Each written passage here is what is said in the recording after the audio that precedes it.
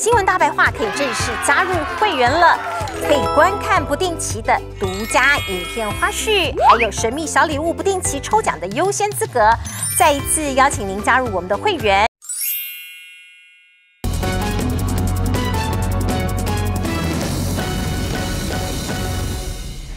TBS 新闻大白话，我们继续来关心国际最新的消息，包括了台湾能不能有机会走出国际，参加国际组织呢？显然，最近的一个梦啊又破碎了哦。当美国国务卿布林肯最最早的时候曾经说过，他不会这个大门呢，这个亚太经经贸会议呃的组织。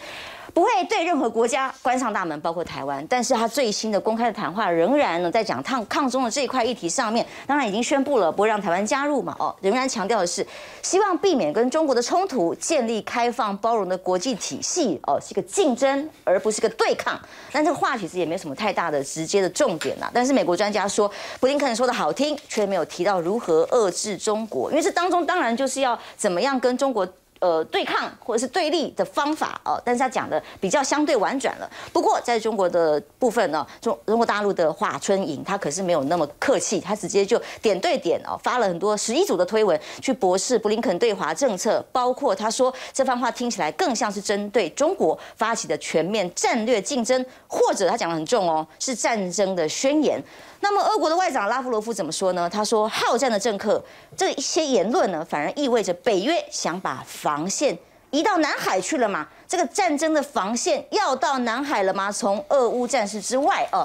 那么五月二十七号的时候，这个呃，俄国的杜马主席他也说了，美国失去了世界大多数国家的支持。而大陆的外交部发言人汪文斌他也说了哦，他说的是绝大多数的国家是。”站在反对选边站的这样的立场，就是说他们可以多方多边的合作，并不一定要选哪一边来对抗或谴责吗？那么当然，日本最近的动作很多呃，从这个拜登到了。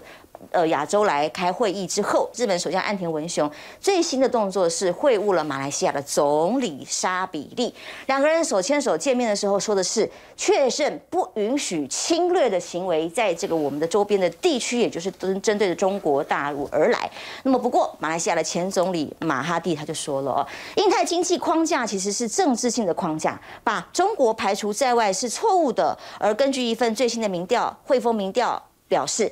美国、中国跟印度都在寻求马来西亚的业务成长，哎，所以它也是多边在寻求各方的利益啊。当然，马来西亚跟中国大陆正在深化的探讨所谓两国双元共建一些商业商业园区或工业园区的合作发展计划。所以，虽然跟日本首相手牵手谈不允许侵略，但同时跟中国的合作也是持续进行的。再看看李显龙，新加坡的总理李显龙，他说，各国其实是需要跟中国做生意，机会。市场都在中国，而且中国不是苏联，不会有朝一日消失哦。所以听听李显龙他怎么看待这些区域的竞争。Regional engagement within Asia and with the rest of the world cannot just be based on security considerations and relations. Security cooperation must also be complemented by tangible and mutually beneficial economic cooperation. In particular, for major powers like the US and China, economic cooperation with Asian countries demonstrates convincingly that their engagement is not just to enhance their own power and reach in the region, but also to yield tangible win-win benefits with their partners. There will be no good outcome if Asian countries are split between the two camps, each siding with one or the other. 世界分成反中跟挺中这两个集团是不会有好处的吗？包括了柬埔寨首相啊，最近一些经济上的动乱哦，被形容是因为跟中国的债务陷阱有关。但洪森自己跳出来说，其实是跟这个事情无关，根本他还质疑拜登的亚太经济架构是不是会跟 TPP，也就是二零零五年的泛跨太平洋呃这个跨战略经济伙伴关系的这个 TPP 会有相同的命运，最后是空的哦。只是游戏一场嘛。那么在国际议题里头，美国到底有没有输了这个贸易战？呃，《华尔街日报》它有个最新的分析报道，它说中国啊根本就没有变。其中怎么说呢？在川普时期，哦，要求他两年之内要买两千亿的清单购买美国的商品，结果达成多少？哎，其实有六趴，百分之六十。其他的这个包括关税提高，从百分之三点一提高到二十一等等的，并没有对中国造成太大的影响，影响的反而是美国自己国内啊。那么当然，对我们台湾来讲，很在乎这个跟呃美国的攀坚若磐石的友谊，还有参加这些国际组织的机会嘛。那最新消息就指出来啦，美国跟台湾正在计划宣布启动。深化经济对谈内容的类 IPF 就是类呃亚太经济架构的组织。什么叫类亚太经济架构？我也不太理解哦。其实连民进党的委员都不太理解。所以罗志正在立法院咨询的时候就问了外交部说：“好，苏立文说要给台湾一个尊重。哎，那尊重了什么？那你也觉得是尊重吗？他们觉得哦，外交部的政务次长田中光说啊，就是说这次没有把台湾列入首轮，在拜拜登宣布之前就先出来，这就是尊重。”哇，这好尊重啊！对，然后他也说，哎，那是看了报纸才知道这件事情，我们加入不了，还是之前就被先尊重的告知了呢？他说没有，我也是看了报纸才知道啦，好尊重啊，总工。这真的是太尊重了。今天我 我要跟我赖赖赖老师是我学长，我今天要来拜老拜访老师，然后也没跟老师说的时候，突然在老师门口家门敲门，尊不尊重？当然不尊重啊，对不对？然后我不见你，有没有先告诉你说不告诉你也是尊重？对，这就是不尊重嘛。同样的。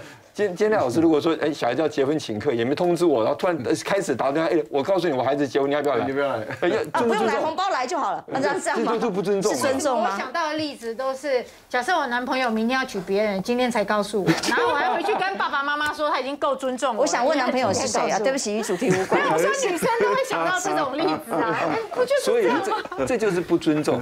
现在这个题目的价重点在哪边？在台湾到底为什么没有建 IPTF？TF 就是亚太经济架构，这才是重点嘛。嗯，我我我有我们中国人有一句话说“人之初，性本善”，我想调整一下，“人之初，性本利”。哦，我们一定是看利益的嘛？趋利。为什为什么要这样讲？我我们找好吃东西是不是趋利吗？哦，我找好的朋友一起聊天也是趋利，这是正常现象。不要不要把它想到任何地方去。我为什么从这个开始讲起？我们来想想在。东协这十个国家，他们要什么？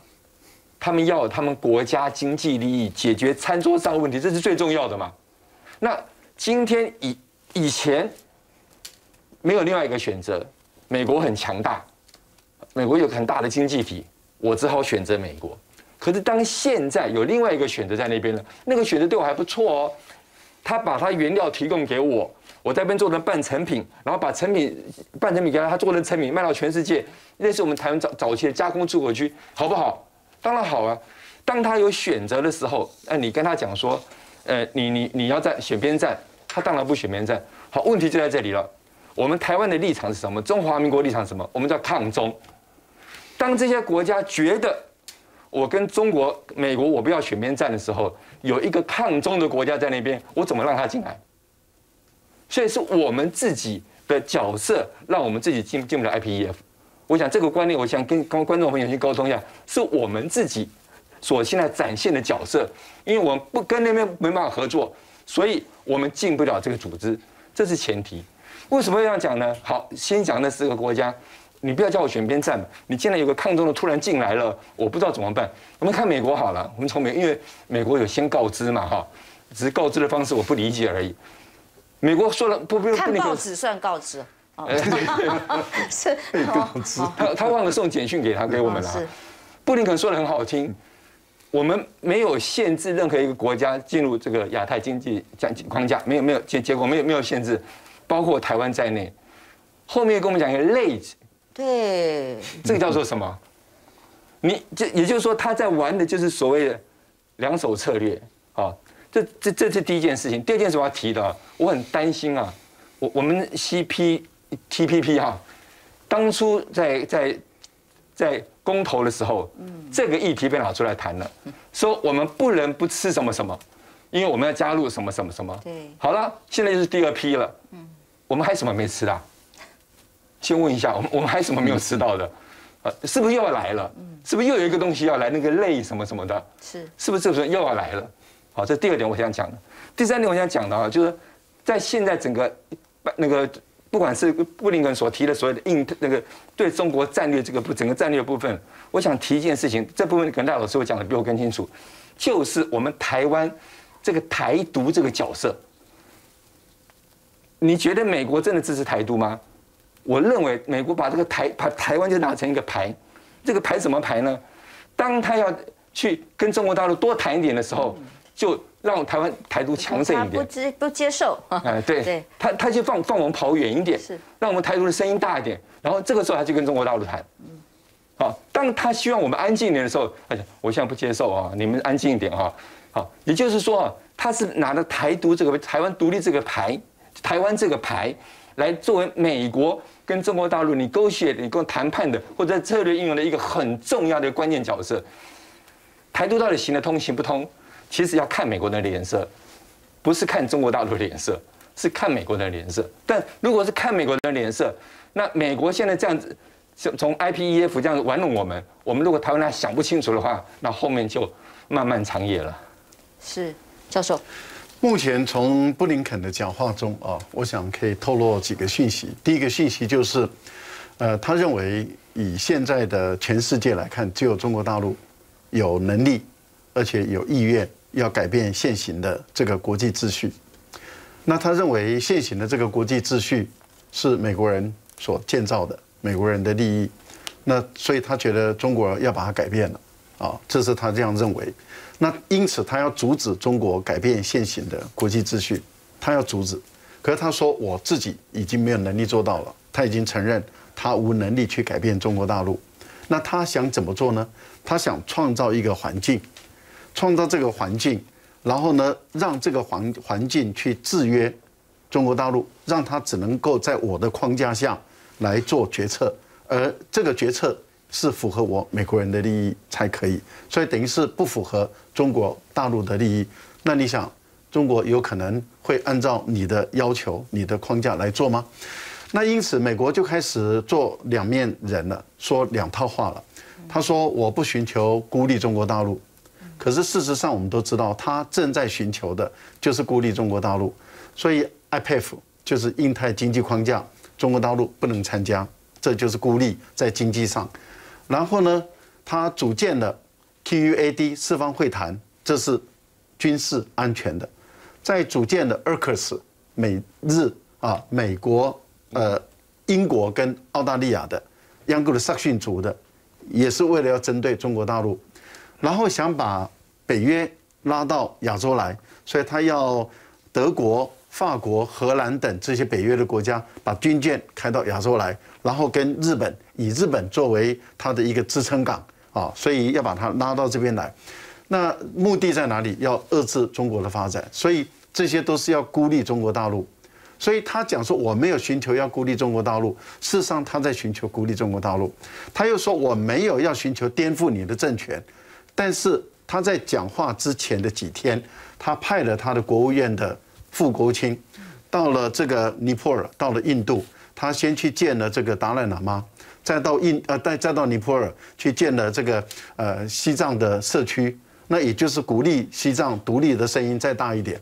然后台湾这边就是鼓励你台湾的独立的声音大一点，然后呢，他在讲话中又把中国大陆的政权故意转变成为不是中国了，就变成是什么呢？变成是中国共产党。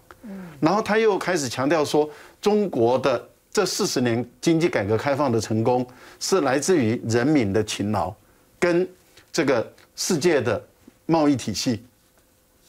可是我们都心知肚明，中国大陆是大政府，所以中国大陆是政府的引导方向正确，人民才有可能成功。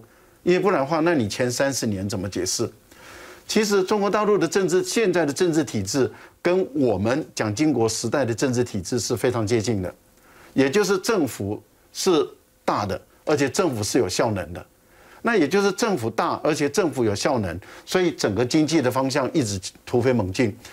台湾在当初创造亚洲的经济奇迹、世界经济奇迹，就是在蒋经国时代的强而有力的大政府时代，所以我们才能够创造经济奇迹。现在中国大陆创造的是世界的经济奇迹，也是在这个强而有力的大政府。可是这个强而有力的大政府，很明显的就把美国的这个小政府比下去了。那美国对布林肯来说怎么办？我不可能改变我自己的政治体制，我就想办法推翻、颠覆你的政治体制。那就从台独、从藏独、从新疆的问题，然后再由国会编的几十亿的美元的预算，想办法去影响大陆的工资，要这些公知们在内部里面进行思想上的一种颠覆，把中国大陆的政权把它推翻。我觉得他的做法其实是两层的方法是一直在走。但是问题就在于能不能他这个战略能不能成功？我个人是觉得成功的几率很小。这个最主要的原因在哪里？我们先看大环境。大环境就是说，原本啊，例如说，假设了哈，我们为什么以前那么那么靠向美国？美国购买你几乎所有的产品，例如说你的纺织品、你的鞋子哦，你的。我们的衣服、我们的鞋子、我们的电脑、我们的塑胶板、我们的这个塑胶椅，我们几乎都可以卖到美国。那我们跟美国当然很，然后我们需要武器装备从美国这边买，我们需要的这个生产机器从美国这边买。那你想想看，我们对美国就很依赖了。可是问题是，现在中国大陆本身也已经取代了，已经逐步的跟美国一样，甚至取代了。也就是我们台湾现在已经不是先卖到你卖到到你美国，而是卖到中国大陆。我卖到中国大陆的已经比到美国多。那你想想看，当有越来越多的国家的东西都往大陆那边卖，然后从大陆那边可以买到武器，可以买到机械设备，可以甚至可以买到科技的时候，那当然他们就会跟中国大陆的关系就会越来越紧密嘛。因此，在国际场合里面，过去美国的总统一出来。大家都想办法往他那边靠，因为都想跟他建立更深的关系来获得利益。可是现在你看，只要中国大陆的领袖一出来，大家往这边靠，也就是说，美国已经不再像过去独尊了。那在这个情形下，对美国人来讲就受不了了。可是问题是，这是一个国际现实，改变不了的。美国队长的影响力哦在消退，但对台湾不一样。台湾淑慧会不会觉得我们有点情何以堪？一开始殷殷期盼着就是能够加入亚太经经济这个架构，就最后说哎还是没门。然后但是我们还不能够有任何的这个怨言，还要说很尊重啊，还是有被尊重啊。好了，我又要用比较简单的男女关系来形容，就是你的男朋友告诉你我爱你，但是我不能娶你，好，而且我不让别人追你，哈，任何人只要来追你，哈。我就我就会打死他。现在状况有点这样，我爱你哈，他一天告诉一天到晚告诉台湾说我爱你哈，你发生什么事我都会保护你，但是我不能够带你出门，我不能够娶你，好，我不能够正式的挺你。坦白说哈，如果说美国要保护台湾，然后美国要对大陆制造压力，那应该是让台湾尽量的参加国际组织，参加各式各样的国际组织，在国际上有能量、有发声的空间。那这样子，我们才会遇到状况的时候，我们会有很多的国际友人。但是我们看到美美国永远都是说，哎，少数几个参议员、众议员，然后去联署说我们要挺台湾，然后就这样。然后给台湾一个交代，那台湾就看到这样，就说：“哎呀，美国谁谁谁挺我们呐？”那些参议员、中员当然很厉害，因为他是美国的参议员、中员。可是换算过来就是我们的立法委员，哈，他不代表国家的正式立场，他不代表国家立场。你看，已经连续四次。哦，他们说到底是这个拜登说错话还是有意的？我不知道。说拜登说他一定会什么军事保护台湾啊等等四次，可是四次之后，白宫都出面再来澄清说没有，我们对台政策不一样。所以这到底是说讲错话吗？不可能的，他是美国总统，他不会讲错话的。显然美国就是在做双面人。拜登讲的话让台湾开心，白宫讲的话。才是美国的正式立场，让大陆安心，就是这样。但是我们永远只截取我们想听的地方，就像女生永远只想听男生说我爱你，可是却没有发现说他可能这时候还在跟别人约会，他没有要把你介绍给他的朋友，他没有要跟你结婚的打算。我们只一直在那脑袋里面就充斥他爱我，我只要忍耐，感觉很像有惨痛的经历。不是不是，这个刚不觉得 就很像我，我一直觉得都是很像这个样子哎。是，然后美国可以同时去交好多个女朋友都没有关系，所以我觉得台湾人哈，就还是要为自己想啊，哈，为自己想，我们到底要做什么样的这个台湾人，我们的利益到底是什么？自己爱自己最重要啦。是我们休息一下，待会回来继续关注俄乌战事最新的进展跟进度。休息一下，马上回来。